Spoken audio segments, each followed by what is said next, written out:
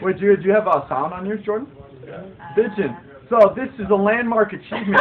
we have neutralized the the volley, the the ball in Super Pong. Let's get the players.